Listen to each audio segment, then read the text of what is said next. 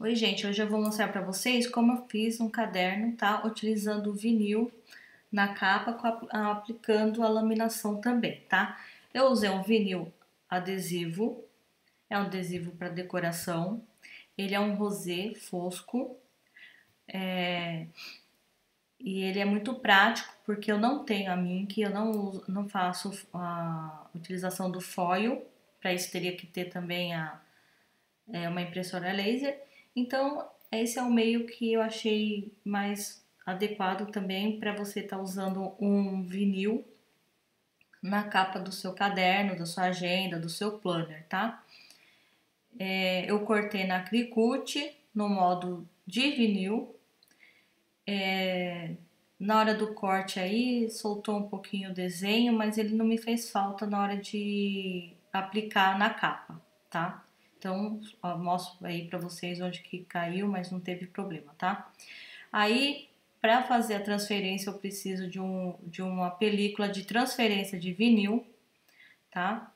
Quanto menos cola tiver, aderência tiver, até melhor, porque se você for é, é, transferir no papel, ele tem que estar do tamanho do desenho, tá?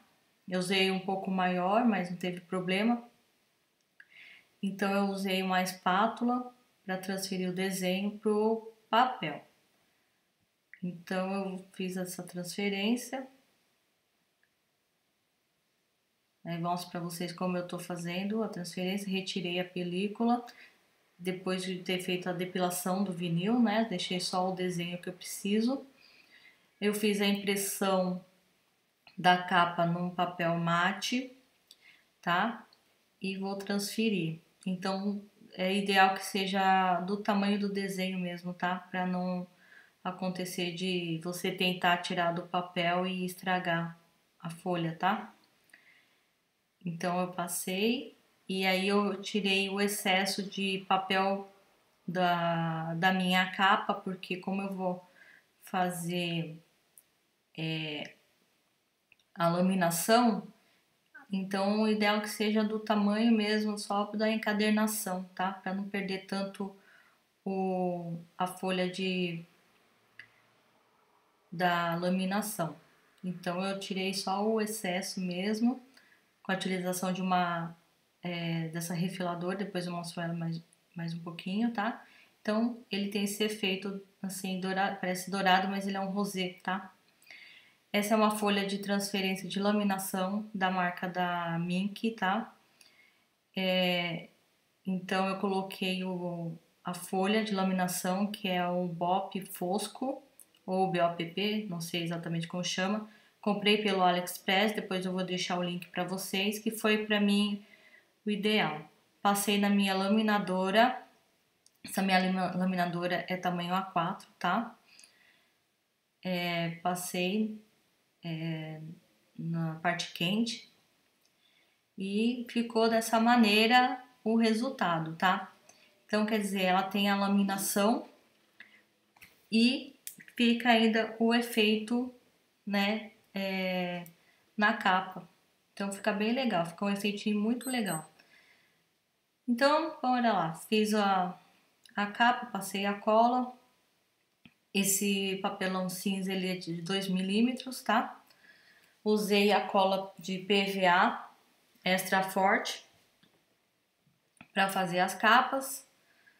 Então eu corto aí com a utilização do fio de cabelo as beiradinhas e fecho as beiradas e com auxílio da dobradeira para fazer os cantinhos da capa, tá? É assim que fiz os dois. Tá? Repito na, na uma segunda vez. Dessa maneira. Passo a colinha. E é isso, gente. Aí eu vou cortar também a, a guarda do papel. Esse caderno é um. Esse caderninho ele tem o tamanho A6 então é mais ou menos 10,5 por 15 centímetros. Eu corto a parte de dentro que é a guarda é, tamanho de 10 centímetros por 14,5, tá? e certinho. Vamos colar também essa parte, tá? Essa refiladora é uma refiladora da Fiscars. Eu gosto muito dela, ela, ela me atende bem, ela é compacta, então dá para usar e guardar. Não me ocupa muito espaço. E a lâmina dela é, de, é uma lâmina muito boa também. E ela tem essa linha que eu mostro com o dedo, que é para auxiliar no corte, tá? Para não ficar torto. E tem essa régua aí para ajudar, tá? Então, eu vou colar a guarda, passando a cola nas duas partes antes de fazer a encadernação, tá? Então, fiz aí a, a colagem da guarda e tudo certo, tá? Eu usei a minha encadernadora Descinge, ela tem um furo quadrado. Eu tomo muito cuidado para sempre ver se não tem restinho de papel, porque se tiver resto de papel, vai acabar fazendo torto a, a furação e, e, isso vai fazer você perder papel, tá? Então é isso. Aí furei, eu fiz um caderninho com 80 páginas, tá? E imprimi o pontilhado, tá? É, eu já deixei no meu site, no meu blog, um como fazer essa, esse caderno pontilhado, muito fácil, é um aplicativo que tem, né? Nem precisa baixar nada, só entrar no site e você consegue fazer um desse, tá? Então tem o um link lá, eu vou mostrar de novo no blog esse link, tá? Então furei todos e aí vou colocar o, o airo, esse airo é o 5 é o 5, 5 barra 8, né? E só que eu não mostrei é, só mostrei colocando, tá? Então eu coloco a primeira capa, depois a contracapa pro lado de dentro e coloco o aerol. Só não esqueci de filmar essa parte, tá? Bom, essa ferramenta aqui de colocar ilhosa e furar ilhosa, eu comprei no AliExpress, depois vou colocar o link para vocês. Ele atende, ele me atende bem, tá? Fura perfeitamente, coloca o ilhosa perfeitamente e tem um preço muito acessível, tá? Então eu utilizei ele para mostrar para vocês é, que vale a pena, tá? Comprar um desse, não é muito caro. Então eu coloquei o ilhós, o ilhós também pelo AliExpress não é caro, vale a pena comprar e a espera toda, tá?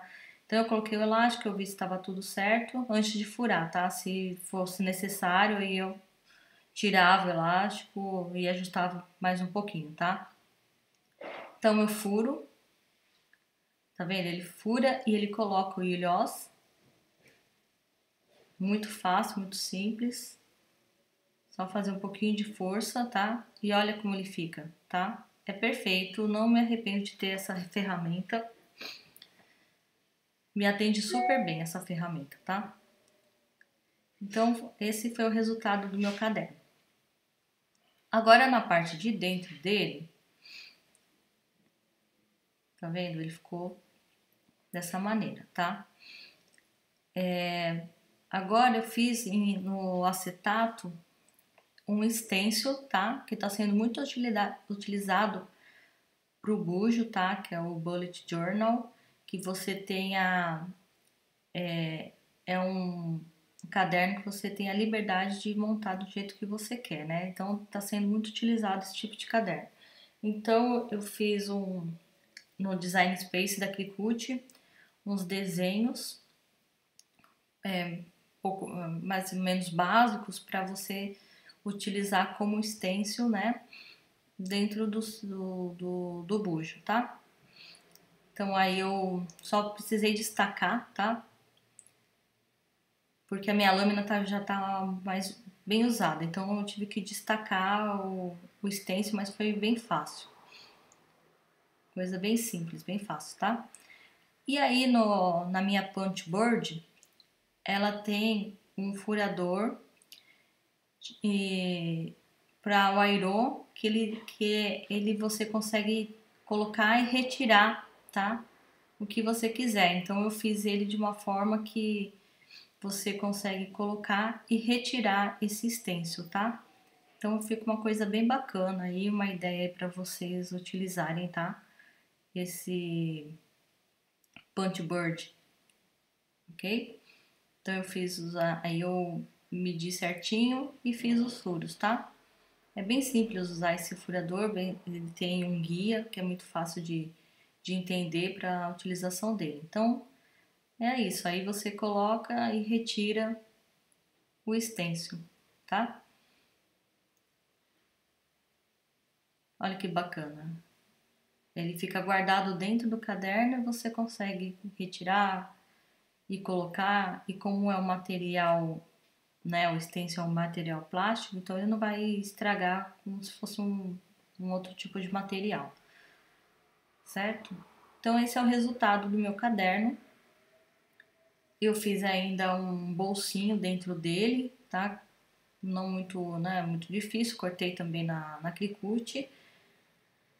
E foi assim que fiz o meu bujo, utilizando vinil e laminação.